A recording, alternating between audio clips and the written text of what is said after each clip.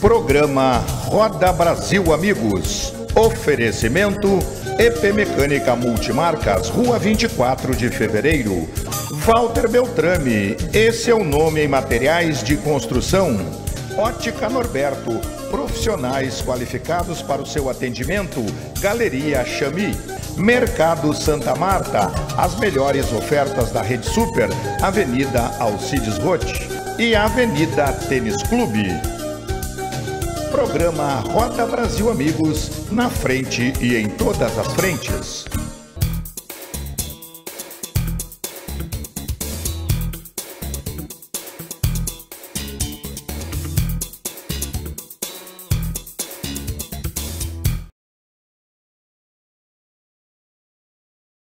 Posso falar hoje?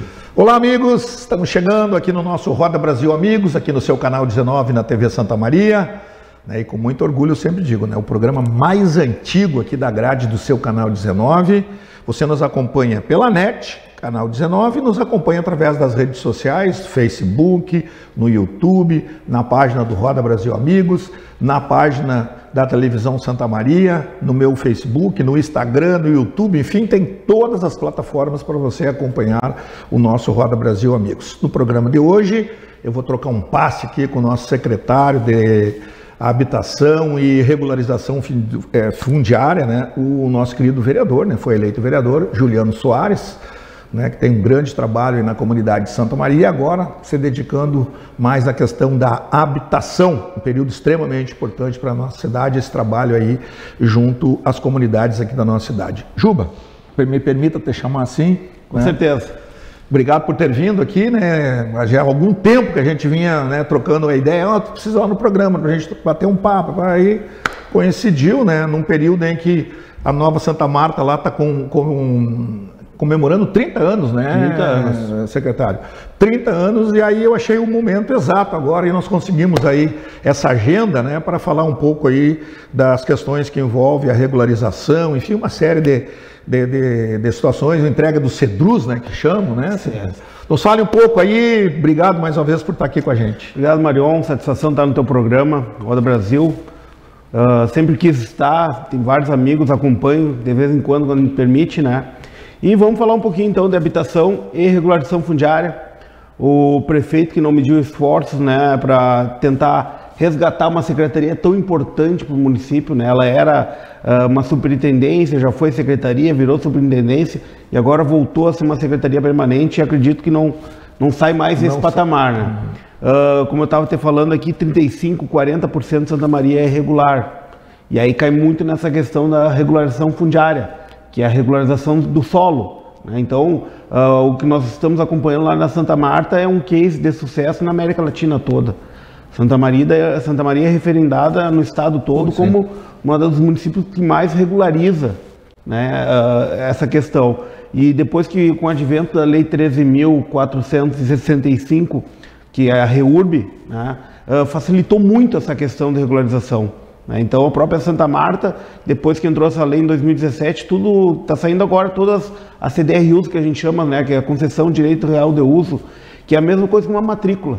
Né? Então, a partir dessa lei aí facilitou e está saindo, estamos entregando. Ano passado entregamos mais de 3 mil. É, ontem entregamos, ah, agora dia, dia 7, entregamos mais 100 CDRUs lá. O mês passado, retrasado, entregamos mais umas 120.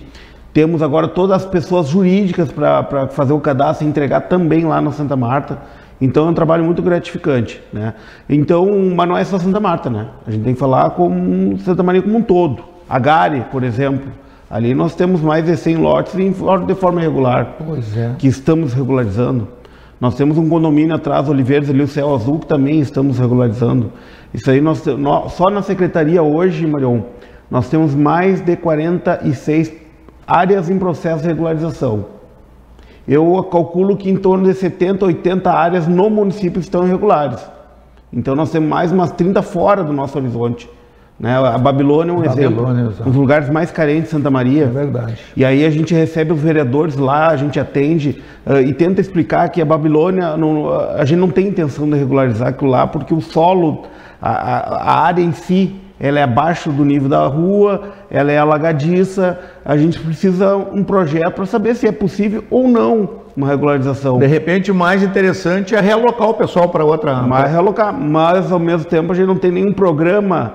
Aí eu falo de habitação, Pois é. nenhum programa habitacional para a gente acomodar todas as famílias.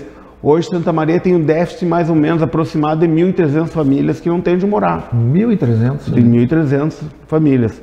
E nós temos três loteamentos municipais, que é o Cipriano, a Lorenze e o a Brenner. Então tem muita denúncia, muita denúncia e a gente notifica e tenta tirar essas pessoas que comprou, compraram de forma irregular, que não poderia, não pode, não pode alugar, né? tem todos os requisitos. Então assim, ó, é a única forma de a gente encaminhar uma família hoje é tirando uma outra. Tirando uma outra. Então, assim, ó, ah, mas tem denúncia, tem gente que vai embora também, né? Acaba vagando a casa, acaba alocando, a gente chega na hora, ah, tenta rever a casa de forma amigável, aquela coisa toda, e de imediato, no mesmo dia, quando a gente pega uma casa, a gente já vai atrás de uma família que nós temos no nosso cadastro lá em torno de 120 famílias, que é situação vulnerável mesmo, que atende até 5 a 6 critérios que é a quantidade de filho, a mãe como única chefe de família, a situação precária que está morando, né? Então, assim, ó, dessas 1.300, 120 são, são nosso, onde a gente olha primeiro, né? Surgiu uma casa, a gente vai nesse cadastro de 120 pessoas, Ah, perfeito. né? Para ver qual que é, se enquadra melhor na, na, naquele local. e tem uma espécie, assim, digamos, de uma lista de, de, de- de espera ou não? Do pessoal que, que vai na secretaria e se cadastra, digamos assim, em busca de, de, de lotes que seriam regulamentados ou não? Ah, Aí que tá, a gente tem uma equipe de assistentes sociais que elas que fazem essa escolha, né? De acordo com os critérios. Então, assim, ó, dessas 126 famílias é de 4 a 6 critérios. A gente vai priorizar a que tem 6 critérios, que é o seria mais vulnerável, né? Dessas, ah, tem 10 famílias, por exemplo. Ah, vai ter que, vai ter que ver uma situação assim tu vai ter que escolher. Ah, porque uma de repente ainda está pagando aluguel, não está com um despejo já né, para sair, então a gente tem que.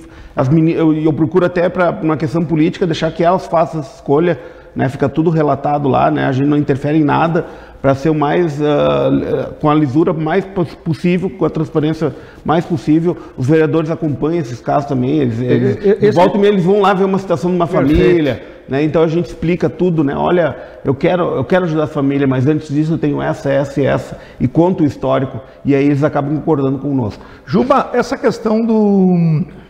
Por exemplo, lá da Nova Santa Marta, né, que acho que mais de 4, 5 mil já foram, já receberam né, um certificado de posse, né, mas presta escritura. né? 3.500. É.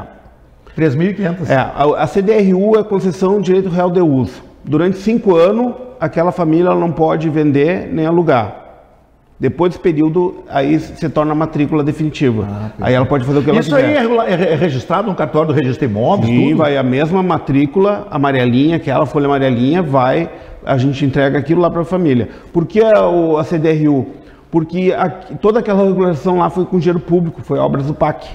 Tanto a urbanização, as ruas, a infraestrutura que tem lá foi dinheiro público e a questão da regularização também, todo o projeto, o plano altimétrico, topografia, foi tudo o, dinheiro, o Estado pagou.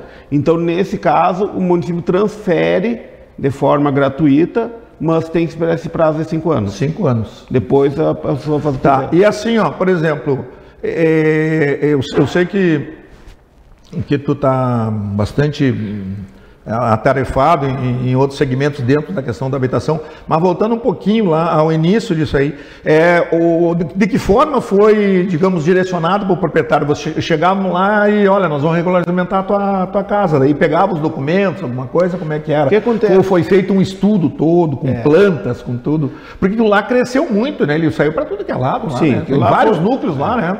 Então, é, aquilo lá surgiu de uma ocupação, uma invasão, que é como surgem as, as invasões, as ocupações aqui em Santa Maria. E, e aí o que acontece, Marão? O pessoal, para morar, para ter uma moradia digna, ela tem que ter água e luz. Tá? Primeira coisa, água e luz. Depois tem que ter endereço, né? Para a sua cartinha chegar lá, uma correspondência. Né? E aí o município vai vendo, verificando esse problema. Isso aí é um problema de serviço público, execução. Tem muita gente que reclama hoje, ah, porque a prefeitura não faz, não faz. Aí quando a gente vai ver aquela área que ela está reclamando é irregular, ela foi construída de forma totalmente Toda, uh, irregular. O município não é o responsável pelos problemas que aquela comunidade causou, né, em termos de alagamento, uh, falta de água, falta de energia elétrica. Né? Então, assim, ó, vai chegar uma hora que o município vai ter que regularizar e no momento da regularização ela vai acabar levando todos os serviços públicos. Né? E a própria a lei essa federal, a REURB, no momento que a gente está em processo de regularização e faz a regularização, a Corsã e a RGE, no caso aqui em Santa Maria, né, é obrigado também a fazer o serviço de infraestrutura, assim como o município também tem que fazer. Né? Então isso tudo faz parte da, da lei e, logicamente, aquele, aquele pessoal que está recebendo a CDRO vai começar a pagar o imposto também, né? Pois eu ia te perguntar, era o meu, claro, meu, próximo, meu próximo questionamento, porque na, na, na, medida que tu oficializa, digamos, tu regulariza lá, tu passa a ter a tua matrícula e, e tu vai ter um imóvel cadastrado com um número tu na passa prefeitura. Passa a ter teus direitos também, né? Deveres e direitos. Então aqui, ó, a CDRU ela é um documento, é o, é o, papel é a certidão de nascimento do imóvel. Assim como a gente tem a nossa certidão de nascimento, a CDRU é uma matrícula, é, vem com matrícula ali, né? Só vem averbada a questão dos cinco anos que tem que esperar. E, e a partir daquilo ali, ela tem segurança jurídica para tudo. Desde, ela, com, com, aquele documento, ela pode ir até a Caixa fazer, pedir um empréstimo para reforma, por exemplo. Ah, para fazer, pra, pra, porque hoje em dia o pessoal que constrói. É um documento oficial, né? É um documento oficial. E a Caixa aceita. Aceita? Aceita, aceita. Então, assim, ó, é um documento oficial, a Caixa, a Caixa, e o cara vai poder pedir um empréstimo com juro menor para uma reforma numa casa. Hoje o pessoal faz com crédito pessoal lá que é muito mais caro. Muito mais caro. Né? Então, daqui cinco anos, eles vão poder, para vender, a pessoa que for comprar e não tem dinheiro vai poder financiar pela Caixa. Porque hoje é tudo contrato de gaveta. Perfeito. Hoje é tudo contrato de gaveta. Nós já entregamos três uh, regiões, a gente entregou a matrícula direto. A gente está fomentando lá na secretaria a parceria do município com a comunidade. O município não tem como abraçar, Marião, todas essas áreas regulares ah. para fazer regularização. Não, tem, não temos gente, não, não tem temos, perna, como se e não tem direito, e não temos dinheiro, tá? Então, o que a gente está fomentando junto com a parceria com a Câmara de Vereadores, que inclusive está criando comissões especiais, e aí a gente vai lá na comunidade junto com a Câmara para explicar como é que é o processo de regularização, incentivando eles e mostrando que a gente não tem condições, mas que vale a pena eles entrar de parceiro. E quando eu digo entrar de parceiro, é eles, é, a gente precisa, para tocar adiante um processo de regularização lá dentro, do projeto, né? que é uma fotografia planimétrica, topográfica, com todas as medições corretinhas ali, né? E o resto a gente consegue fazer lá na prefeitura com as meninas da arquitetura. Tá? Então, assim, ó, elas contratam uma empresa, né, entregam tudo pronto para nós lá, em questão de quatro a cinco meses, a gente está entregando uma matrícula na mão desse, dessa pessoa que estava esperando há 40, 50 anos, que nunca pôde fazer um negócio legal assim, para porque não. E, e assim, ó, com essas comunidades, eles contratando a empresa, a gente entrega a matrícula direto. Então, a partir da matrícula, ele já pode fazer o que ele quiser com o imóvel, é, até vender. Até vender. Até vender. E, e, claro que dentro desse, dessas questões todas que tu falaste, questão de Corsã, da, da, da, da, iluminação, né, que hoje a gente costuma dizer a CE, mas é a RGE, ou a empresa que, que, que, que, vai cuidar disso aí, e também a prefeitura, através da, da, da, da sua secretaria de, de ali de, de, finanças, vai atribuir o, a questão dos IPTUs, né? Sim. E que é uma, uma, forma também de dar uma fomentada na economia, né? Exatamente, fomentando toda, toda a cadeia né, produtiva, desde o ITVBI, daqui a partir de agora, com essas que a gente está entregando privada, que a gente chama, né? Uh, já vai poder ser gerada ITVBI, as imobiliárias estão entrando já nesses locais. Hoje lá, a Nossa Senhora do Trabalho, tu conhece lá na Zona Norte, aquilo lá passou por uma regulação fundiária. Hoje tu passa lá, tem placa de vende de imobiliária legal e elas podem vender graças a uma regulação fundiária que foi feita lá. Que foi feita. A Renascença, que já é antiga também. E tem uma, uma, uma projeção de, de, de, atingir o que número mais ou menos, Juba? Isso aí dentro do mandato, de, o, o, o, também já fica a projeção para quem sabe próximos governos, enfim? Olha, Mário, dessas 46 áreas aí, dá mais ou menos uns, uns 4 mil lotes. Só lá em cima nessa área lá? Não, onde... não, toda a Santa Maria. A toda Santa Maria? Toda a Santa Maria, nós estamos tramitando 46 áreas, tá? Dessas 46 áreas, aproximadamente 5 mil lotes, tá? A minha ideia é, se continuar, por exemplo, mais um ano na, na secretaria lá, que tem desempenhado um bom número no decorrer dos últimos anos aí, ó, a gente quer entregar mais umas mil, né? E é possível. É possível? É possível. É possível. Primeiro semestre a gente já tem algumas entregas boas para fazer, de 120, 130 matrículas. Francisco Rocha, aqui ó, na Gare da Decamobi, Ali no campo da juventude. No campo da juventude. Tudo sim. irregular. Ali é tudo irregular, em, uma, em um, em um né, eu chamar de vila, não sei como é o nome daquela vila ali, mas cresceu de uma forma. Cresceu de uma forma. E grande. casas boas, né? Casas boas. Boas, um padrão bem. E vai sair um loteamento ali atrás, vai valorizar mais ainda. Estamos regularizando. Então essas casas que hoje, nos contar de gaveta, custam 110, 120, vão pular, vão pular para 200, 250. É verdade, é verdade. Né? Então, assim, ó, E o- é uma área que a gente está prestes a entregar já. E o bacana disso que tu falou, eu acho que, eu te confesso que por mais que a gente saiba ou vai atrás das informações, eu não tinha assim um conhecimento certo de que, por exemplo, se eu sou um proprietário agora regulamentado, se eu quiser reformar minha casa, aumentar, fazer uma garagem, eu tenho possibilidade com aquilo ali, obviamente que a Caixa vai pedir projetinho, alguma coisa, mas conseguir financiamento via Caixa Federal, né? Sim. E voltando àquilo que tu falou, né? Então, de dois anos para cá, antigamente não era controlado e não, não tinha como fazer isso. Hoje, todo mundo que vai lá pedir água ou luz para nós, que a gente, eh, a Secretaria de Habitação que emite o termo de vale de abertura e daí, com esse documento ele vai lá no Corsã para pedir água, a gente tranca. Quando é irregular, a gente já tranca Ah, já tranca. já tranca e diz, não, não pode. E aí acontece, acontece os gatos, né? Aí começa a acontecer os furos de energia, isso é complicado. É. Mas ah, muitas vezes a gente tranca, mas já para fomentar com que eles, eles mesmos comecem a, a iniciar o processo de regularização. Tu subindo ali pro Peral, logo tu passa o, o Bar do Juca ali, à Sei. esquerda, tudo irregular. O ano que vem a gente quer entregar mais 70 casas ali. Que bacana. Marcelo, me faz sinal lá, a gente está fechando aqui o primeiro bloco do nosso Roda Brasil Amigos. A gente vai por um intervalinho rápido, vamos só trocar o fardamento aqui, tomar uma água, a gente volta para o segundo tempo. É pai e bola. Programa Roda Brasil Amigos. Oferecimento EP Mecânica Multimarcas, Rua 24 de Fevereiro. Walter Beltrame, esse é o nome em materiais de construção. Ótica Norberto, profissionais qualificados para o seu atendimento. Galeria Chami. Mercado Santa Marta, as melhores ofertas da Rede Super, Avenida Alcides Rotti e Avenida Tênis Clube. Programa Roda Brasil Amigos, na frente e em todas as frentes.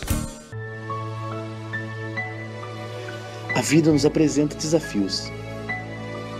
Mas o que procuramos é viver sempre bem e feliz.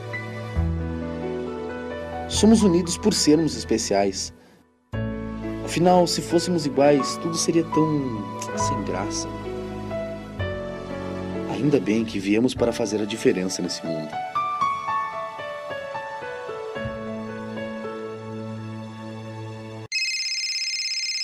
Uma conversa pode transformar uma vida.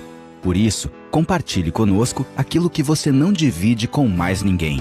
O CVV está com um número novo. Ligue 188. A ligação é gratuita de qualquer localidade do estado. Atendimento 24 horas. Disque 188 e converse com um de nossos voluntários. CVV Centro de Valorização da Vida. A linha que faz você seguir em frente.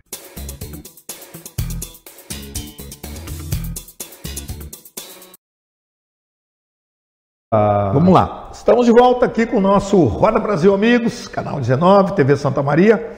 Papo muito legal aqui com o nosso secretário de Habitação, Juliano Soares, né, nosso vereador também, o Juba, né, que está prestando.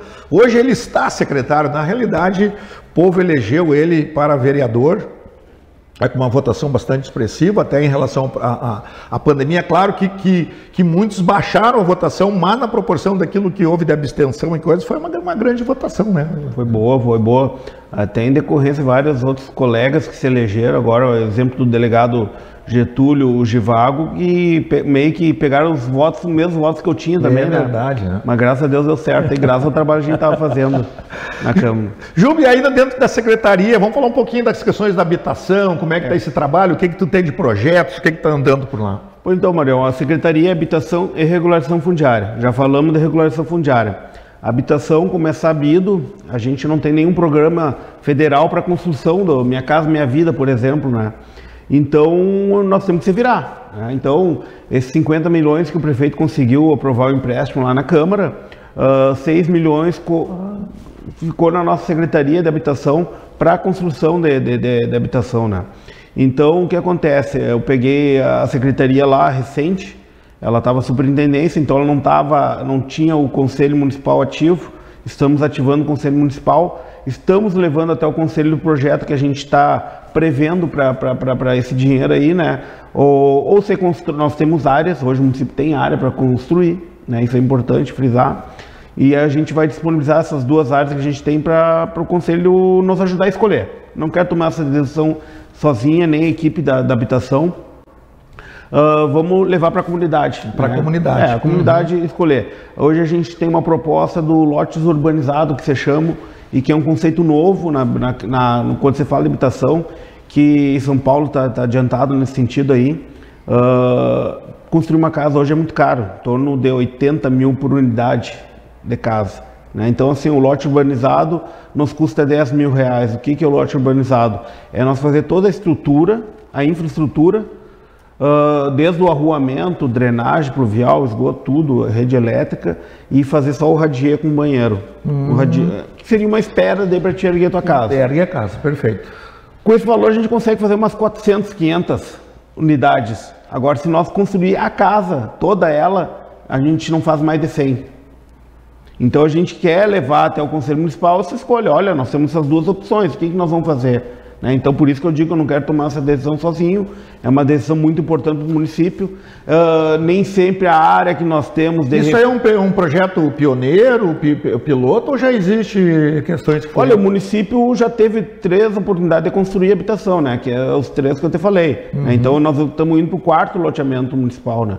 Então, assim, ó, mas o lote urbanizado nunca fez. Pois é, isso é. Isso é novo no Brasil. É né? novo no Brasil, no né? Brasil, Por isso Brasil. que eu estou te perguntando, é, uma, é, é praticamente pioneiro. É, a gente tem os, os, os, privados aqui, né? O Gala, o Gala aqui, na, na, na aqui atrás da, da, Maringá ali, ó, que é do, do Hélio Militz, da Cotrel.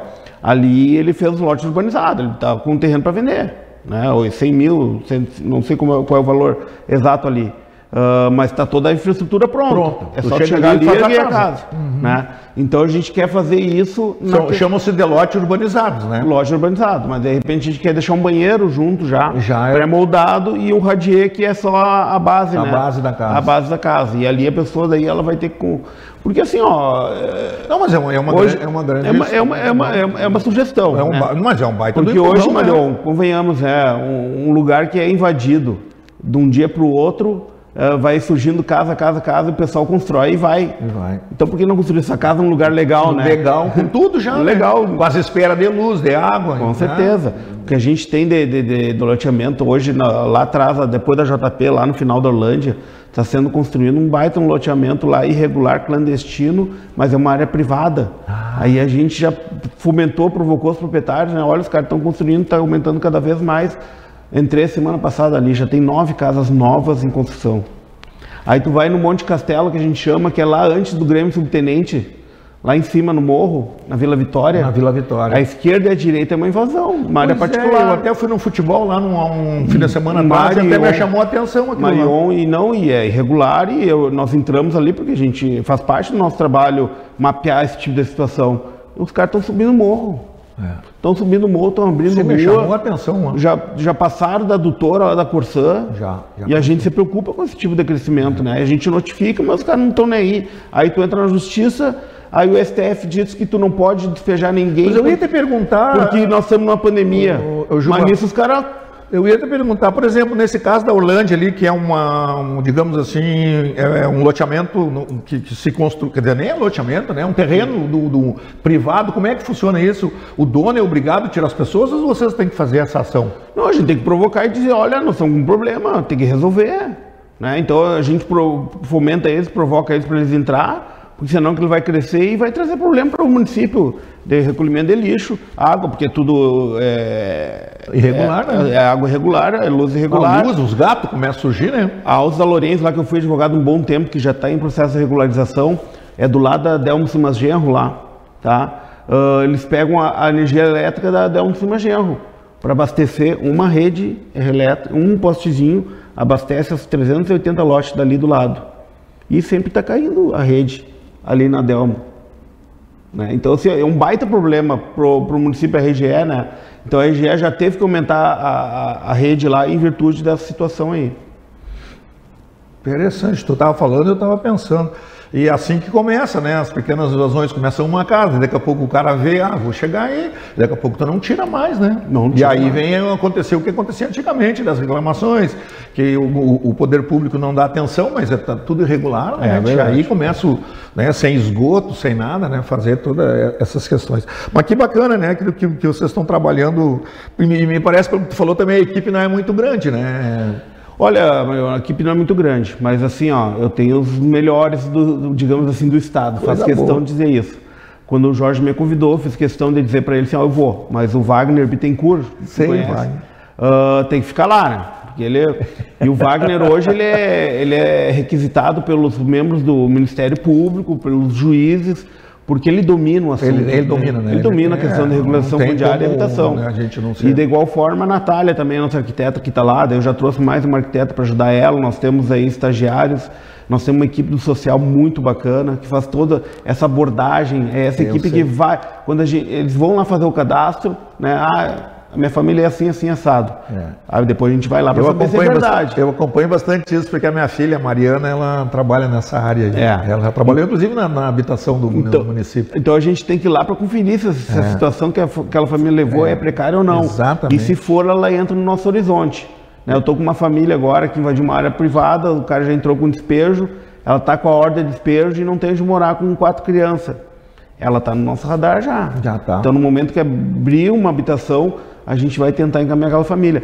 Tem questão de tráfico também, né, Manuel? Então tem. a gente não é toda a família que a gente pode encaminhar para é, não local. Tem, não tem, não é complicado. É, então tudo isso é estudado é. para a gente fazer a melhor. E vocês têm todo uma tem toda uma, uma preparação para, né? Tem Exatamente, todo um acolhimento, né? Uhum. E depois continua, né?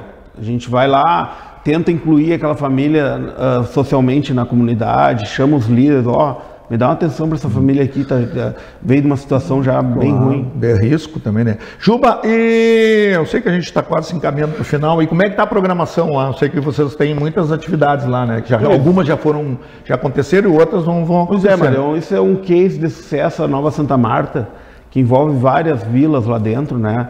E a gente está com 30 anos da ocupação e agora 30 anos a regulação fundiária já do, do digamos assim, de 80% da comunidade. Né? Então, é, é, muito gratificante estar secretário e participar dessa atividade aí e nada mais justo, nada mais justo.